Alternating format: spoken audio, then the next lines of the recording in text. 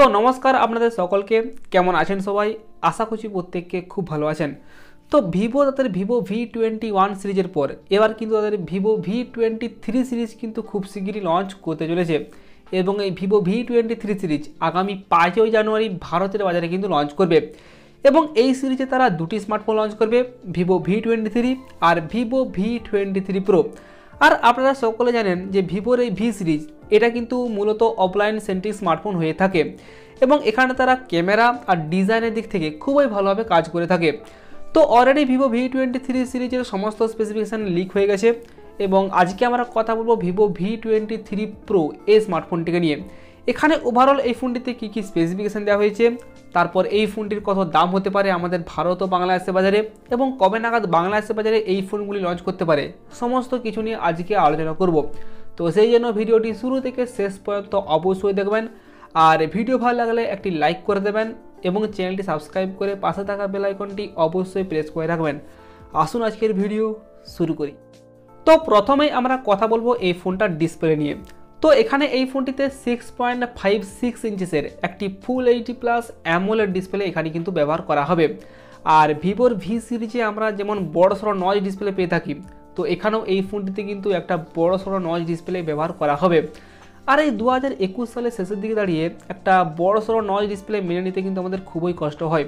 কিন্তু ওই যে ভিভো তাদের ক্যামেরাতে খুব ভালো কাজ করে থাকে, বিশেষ করে সেলফি ক্যামেরাতে কিন্তু তারা খুব ভালো কাজ করে থাকে এবং এখানে এই ফোনটির ফ্রন্ট সাইডে দেওয়া হয়েছে ডুয়াল সেলফি ক্যামেরা এবং এই জন্যই এখানে বড় সড়ো একটা নয় ডিসপ্লে দেওয়া হয়েছে।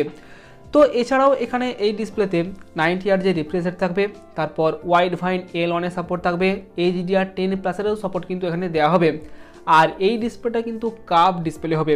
তো ওভারঅল ডিসপ্লে স্পেসিফিকেশান এখানে কিন্তু খুবই ভালো ব্যবহার করা হয়েছে। আশা করা যায় ডিসপ্লে আউটপুট অবশ্যই ভালো পাওয়া যাবে। তো এরপর যদি আমরা ডিজাইন আর বিল কোয়ালিটি নিয়ে কথা বলি, তাহলে এখানে এই ফুটির ব্যাক সাইডে অবশ্যই একটি গ্লাস ব্যাক প্যানেল ব্যবহার করা হবে। এবং সাইডের যে ফ্রেমটি হবে, সেখানে কিন্তু মেটাল ফ্রেম দেওয়া হবে। আর এখানে ব্যাক সাইডের যে প্যানেলটি ব্যবহার করা হয়েছে, এটা কিন্তু কালার চেঞ্জিং ব্যাক প্যানেল মানে এখানে অনেক রকমের কালারের আউটপুট কিন্তু পাওয়া যাবে। আসলে এখানে যে গ্লাসটা ব্যবহার করা হয়েছে, এটা কিন্তু ফ্লোরাইড এজি গ্লাস তো এর ফলে এখানে আপনি যখন এই ফোনটিকে বাইরে নিয়ে যাবেন, সেখানে সূর্যের আলোতে কিন্তু এখানে ব্যাক সাইডে অনেক রকমের কালারের আউটপুট কিন্তু পাওয়া যাবে। আর ডিজাইনে যদি কথা বলি, তাহলে যেহেতু ভিভোর ভি সিরিজের ফোন সেক্ষেত্রে এখানে ডিজাইন তো অবশ্যই ভালো হবে।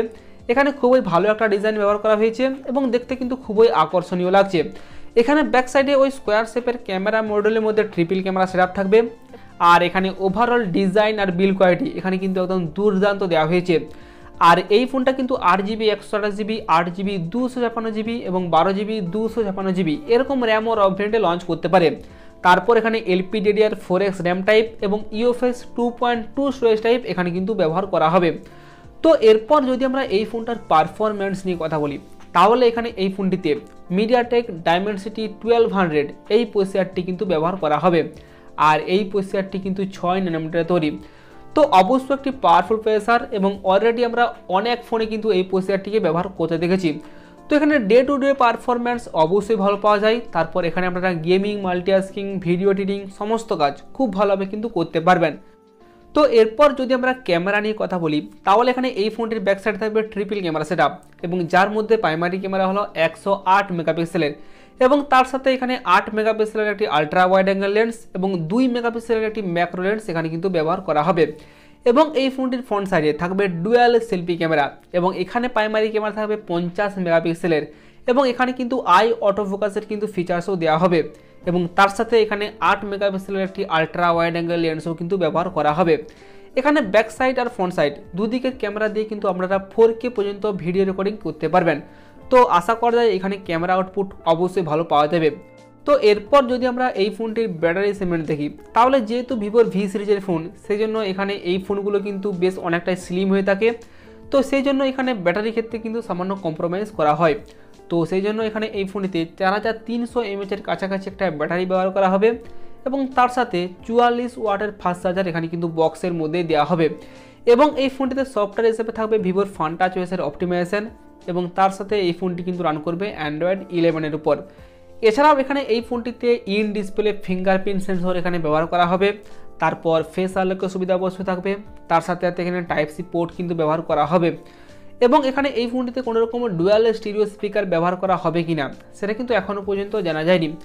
তারপর এখানে এই ফোনটিতে কিন্তু কোনো রকম three point five MM headphone jack থাকবে না।